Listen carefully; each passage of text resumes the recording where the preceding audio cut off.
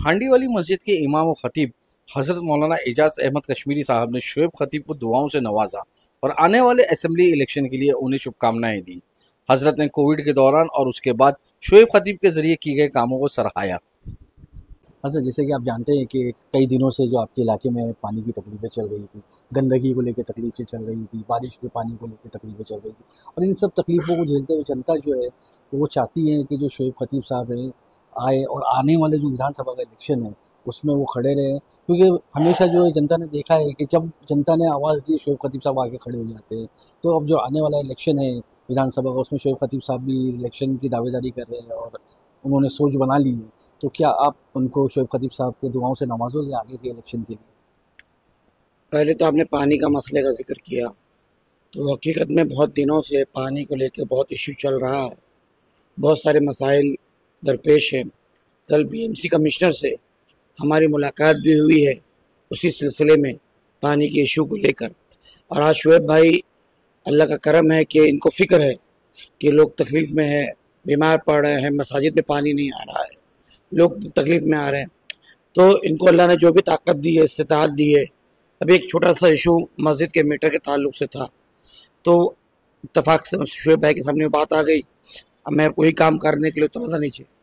तो उन्होंने उसमें भी अपने ताक, जो भी अल्लाह ताला ताल्लुकात दिए हैं, उसका इस्तेमाल किया। तो अल्लाह ताला ने हमको जो भी ताकत दी है, खिदमत खल्क बहुत बड़ी चीज़ है। बहुत बड़ी चीज़ है, फ़राइज़ के बाद अगर सबसे बेहतरीन काम कोई है तो वो अल्लाह के बंदों की खिदमत करना। अल्लाह इससे राज़ी होता है। फ़र्ज़ तो हमको पढ़ना ही पड़ना है, वो तो हमारी ड्यूटी है। छोड़ के भाग नहीं सकता। लेकिन खिदमत खल्क करना ये बहुत बड़ी चीज़ है।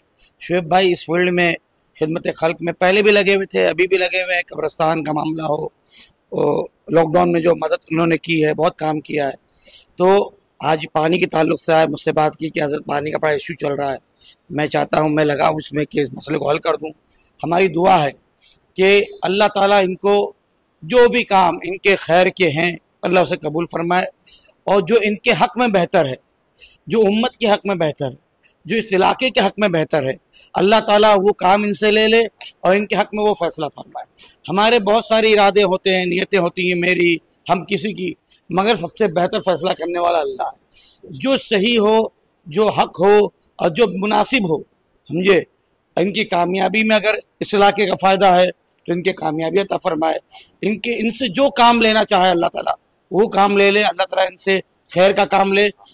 और ये इलेक्शन में खड़े होते ना भी होते, समझे? इलेक्शन एक अलग टॉपिक है, उसमें खड़ा होना नहीं होना, लेकिन इनका जज्बा जो खदमत खल का है, वो हमेशा इनका बाकी रहना चाहिए।